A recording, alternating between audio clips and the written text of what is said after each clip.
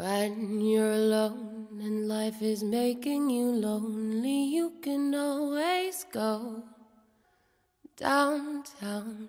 Just listen to the music of the traffic in the city.